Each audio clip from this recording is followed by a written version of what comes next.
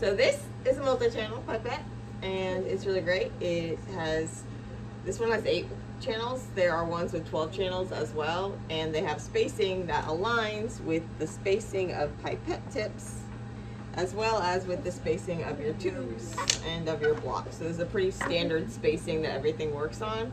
And so you're able to transfer multiple multiple channels at once, which is really great. And so there's some things to know about working with the multi-channel though. And so one is that basically how you use it. So this is one's a little weird in that we have this weird one where it kind of like you have to go to the third stop to release it. So with most pipettes, you know, there's like a separate thing you do. Mm-hmm. But here it's like you go to the first stop, just like normal. First stop is when you go in and you suck things out. And then second stop is where you dispense things, but then this one also has a third stop, which is where you eject things. The way that you adjust the volume on here is you actually just press this down and turn this. Okay, and then it'll lock, so you don't have to worry about that, which is nice because the ones that don't lock, then you have to constantly be looking and making sure you're not actually twisting it. But so what you want to do is when you're using these tips, it's really important that you're even. And so when you're going down on your tips, you want to make sure you're even. So you don't want to be going at an angle or else they're not all going to get on right. And so you want to be nice and even. You don't need to press down that hard, but just like press down and then pull out. Make sure that all the tips come out. Like sometimes there's one that's like stuck back or something. No worries. Just come re, re, recoup. So now when you're pulling things up, you also want to make sure you're level. Because if I'm not level when I'm pulling things up, then the volumes are going to be different. But if I'm level, I'm nice and even, I come in and I pull up slowly. And I should look and make sure that all of the all of the lanes are nice and even. Sometimes what you get is you get bubbles and the bubbles are then going to make it so the volumes are uneven. If you get a bubble, you want to go back in. No worries. Make sure you don't go to the third stop so you don't release things. But just reset. Okay, go back in. Sometimes you might need to go up and down a couple times. We'll get rid of the bubbles also. Um, so yeah, I just got a bubble, but I got rid of it. And so you want to make sure to prevent bubbles that you're kind of just in the middle of the liquid. So you're under the surface of it. You're nice and even and you're not touching the bottom because um, that's that way you can avoid getting the bubbles as well unless you have a really small volume.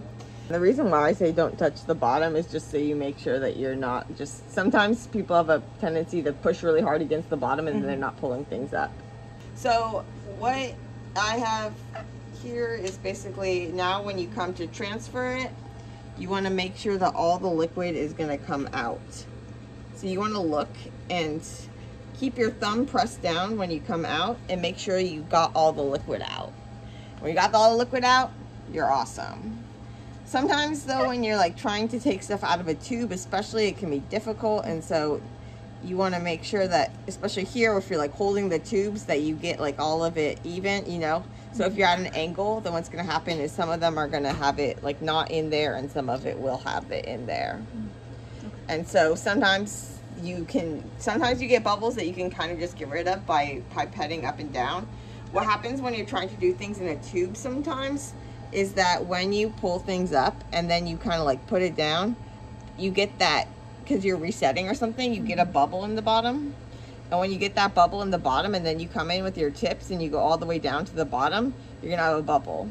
And so if I just pulled up then it wouldn't work. But what I so what I want to do is I'm gonna pull up and then I'm gonna pipette it back down while I'm right under the surface and then pull out.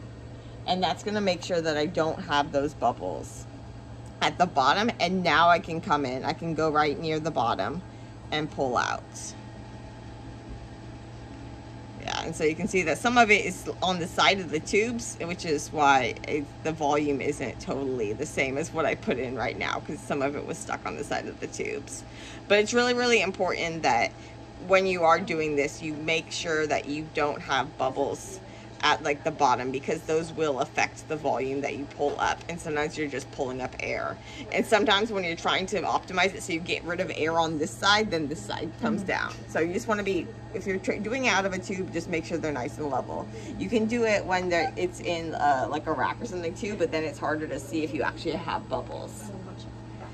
When you are using the tips so again this is just a demo so I'm just gonna put them over here but this also shows like so normally we don't like we just refill these these rack boxes mm -hmm. but you also want to keep a couple so that you can use them to keep your tips in because a lot of times you don't have a full row mm -hmm. you just have a partial one and or you have a tip box that's like really disorganized and so you want to basically be able to arrange the tips for the amount you have. Mm -hmm. And so you can kind of just play around moving things in order to make it so that you have the right number for what you want. Yeah, it'd be mm-hmm. easier if, you, we kind of just like remove the box lid maybe.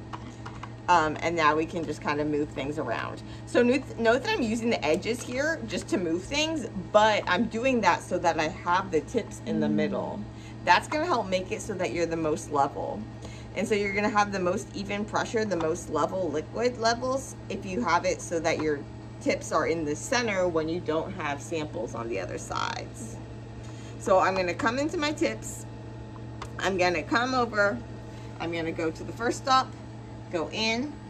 I'm gonna pull up and now I'm gonna look Make sure they're even. There's no bubbles. If there were a bubble, no worries. Okay, let's go back in.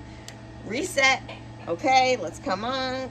Okay, maybe there's still a problem or something. I just go up and down a few times, making sure that there's no bubbles, that things are nice and even. Now I'm gonna come over, I'm gonna come into my tube or wherever I wanna go. I'm gonna go down, I'm gonna go down to the second stop, keep my thumb held there, and pull out. I'm gonna look at my tips, make sure I didn't pull out any sample. We're all good. Now I'm gonna come over and eject my tips by going to the third stop. If you are doing things where you're going from like say a new rack of tubes to a new box or something, so some, you want to kind of make sure that you're strategic about what goes where to help you keep track of things. So if I were to be filling out this whole box or something, even if I wasn't, I might just like make it so that I might move everything over this way or something once so that I have this row is going to correspond to my A samples and this row is going to correspond to my B samples and then I would go like that. Okay. So sometimes it's easiest to set up, if you have a large volume, then it's easiest to set it up in like a reagent reservoir. Mm-hmm. If you have a smaller volume, then, or you have different things in each well, then sometimes I'll do it in PCR strips or I'll do it in like a deep well plate. They make reagent reservoirs that are kind of like split up into sections like this. Uh, but a plate works as well, as well as um, a strip tube. These are smaller volumes. We have a small volume that we're kind of trying to pipette out. It's too small that we can't use the reagent reservoir, but not small enough to put the sample into PCR strips to transfer out of that. And so we're putting them in this deep well plate. So we prepared a larger volume of our master mix than we actually need so that we take into account the fact that we're going to be losing some. And now we split the volume that we made into the amount of like channels that we want and so we have we're gonna have in our plate we're gonna have six channels so like one two three four five six and so then we're gonna do that multiple times and so we divided our total volume by the number of tubes so by six. Now we're pipetting into the block so that we can then multi-channel it into the tubes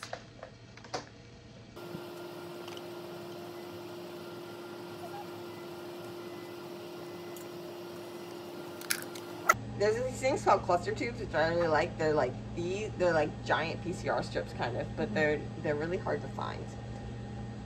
Um, one thing to note too about using a multi-channel is you're gonna get more volume loss, so you need to make more more liquid. Um, or because when you when you have to you have it in the reagent reservoir, when it gets to the bottom, you're gonna have liquid left over spread over a mm-hmm. surface area that you can't actually use.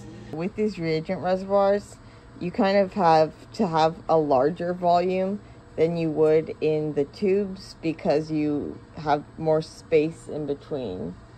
The in the tubes there's space, but here it is not space, it's just continuous. And so there's going to be a bunch of liquid that can't be used, which is why they make them so they're like V-shaped at the bottom, these reservoirs.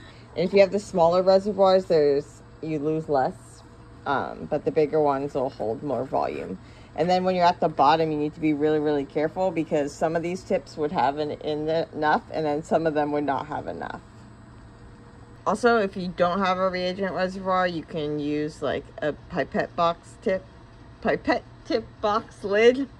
And if you do this, you can kind of angle things to get things at the bottom and then go right in at that bottom angle like a V. And if you're doing things in tubes or a block or whatever, you're gonna have to have a little extra liquid in each of the wells because you're gonna have less, you're always gonna lose volume when you do things. Mm -hmm. And so you will need to have a little extra in each of those wells and you're gonna lose more than you would if you just had everything in a tube. But if you just had everything in a single tube, you're then gonna have to be pipetting into each of the different wells individually. And so you could use something like a repeater pipette, which we saw where basically where you're gonna suck up once and then pipette out. Mm -hmm. But that has to be the same thing, whereas this, you can have it be different things in different tubes and then transfer it all over. And you can do whatever volume you want as long as it's with your pipette, whereas this you're restricted by the step sizes of your pipette.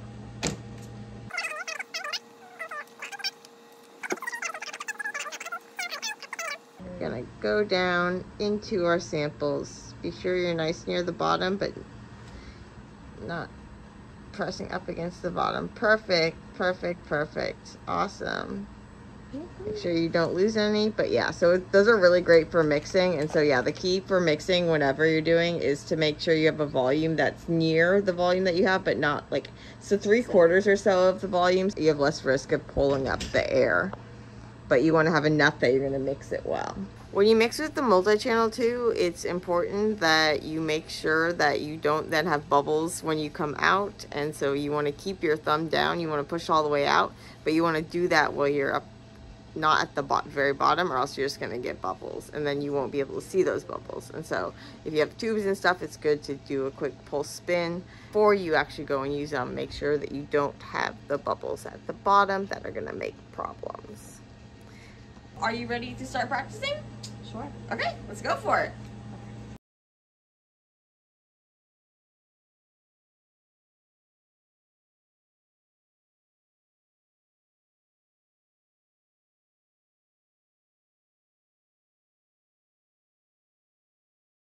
Evened out.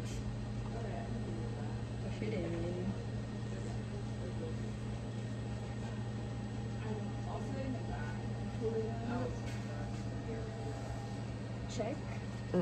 And so the blue we have now just as a dye to make it easier for us to check, but you'll have to be yeah, more properly. vigilant when it's just clear liquid. Yeah, it. Yeah, yeah. And then you're always gonna want to dispense it like onto the surface of the um of the side like the sides of the tube or near the bottom so that it doesn't get stuck on the sides. Perfect. And then check again. All is good. Awesome. Oh. There you go. There you go. So you're going in the middle to make sure that we get the most even.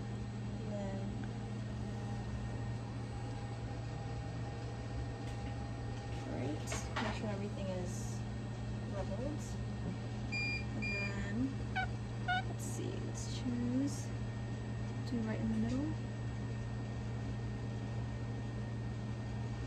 Make sure no liquid is left. And then push down to the third stop. And we're good. Fabulous! Woo! What do you think of the multi-channel? It's pretty cool, huh? Awesome. Lifesaver. Yes, yes. yes. And this is not a product endorsement. Honest. no.